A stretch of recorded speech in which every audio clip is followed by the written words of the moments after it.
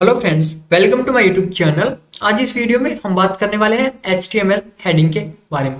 तो चलिए शुरू करते हैं।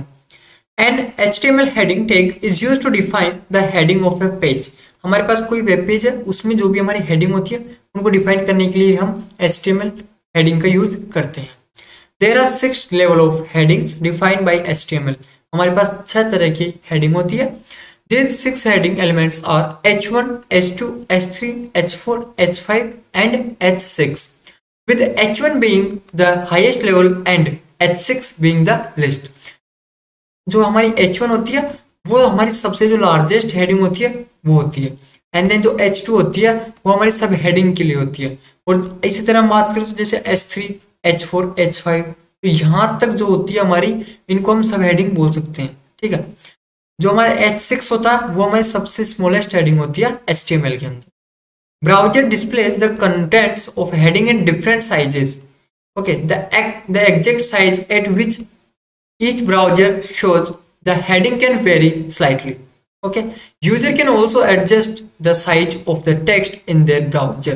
तो वहाँ पर जब भी हमारे, हम ब्राउज़र में या हम वेब पेज में कोई हमारा एच का पेज लोड करते हैं और उसमें उस एच में हमने हेडिंग का यूज़ किया है तो वहाँ पे हम उनको आसानी से एडजस्ट कर सकते हैं कि हमको किस तरह की हेडिंग हमको आउटपुट में या फिर हम कह सकते हैं कि हमारे पेज में हमको चाहिए। Okay importance of heading search engine use headings for indexing the structure and organizing the content of web pages जो हमारे सर्च इंजन होते हैं, वो इन हेडिंग्स का यूज़ करते हैं।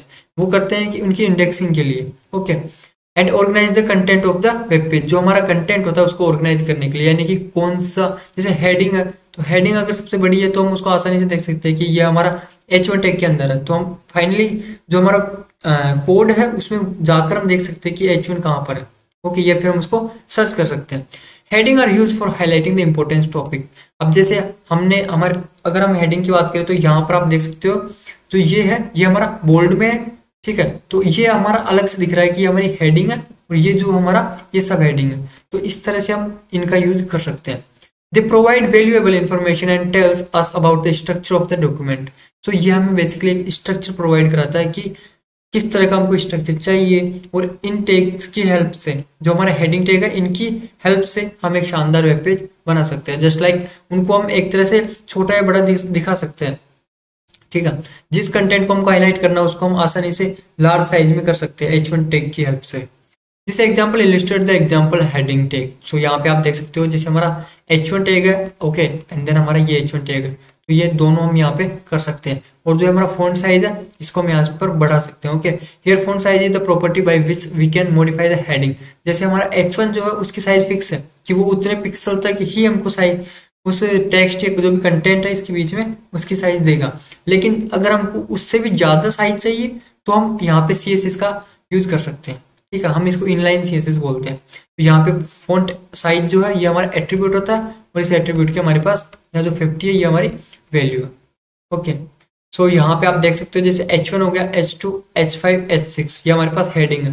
तो जो ये हमारा एच है इसने सबसे बड़ा कंटेंट दिया। यानी कि जो साइज़ में है वो सबसे बड़ा कंटेंट हमारे पास welcome to Geeks for Geeks and then उससे छोटा हमारे पास है computer science portal for Geeks तो इस इस तरह से हमारे पास जो एच सिक्स है वो हमारा सबसे छोटा है। इस तरह से हम इन सभी का यहाँ पे यूज़ कर सकते हैं। देन आता है changing the size of H T M L headings so the default size of H T M L headings can be change using the style attribute जैसे मैंने आप, अभी आपको ऊपर बताया कि हम इस तरह से इसको यहाँ पर चेंज कर सकते हैं। क्योंकि एच वन टैग जो है वो हमें एक फिक्स साइज़ देगा। उससे ज़्यादा वो नहीं दे सकता। और हमको अगर चेंज करना तो हम यहाँ पे स्टाइल टैग का यहाँ पे यूज़ कर सकते हैं।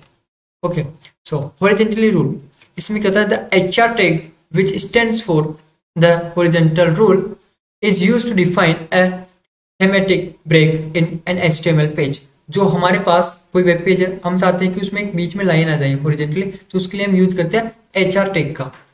The HR tag is an empty tag and it does not require any end tag. इसमें हमको कोई भी end tag लगाने की ज़रूरत नहीं होती है। It is basically use to separate content किसी दो कंटेंट हमारे पास हम चाहते हैं कि हमारे पास कोई भी दो डिफरेंट टाइप के कंटेंट है, उनको सेपरेट अगर करना है तो हम यहाँ पे एच आर टेग का यूज़ कर सकते हैं। ओके सो ये हमारे पास यहाँ पे एग्ज़ाम्पल है। जैसे देखो यहाँ पे एक एच आर टेग यहाँ पे लगा हुआ है, एक यहाँ पे लगा हुआ है। तो इसका जो हमको ये आउटपुट दिख रहा है इसमें आप देख सकते हो दो हमारे पास ओरिजेंटल लाइन है ठीक है? सो so, इस तरह से हम हेडिंग्स का यहाँ पे यूज़ कर सकते हैं। So thank you so much for watching this video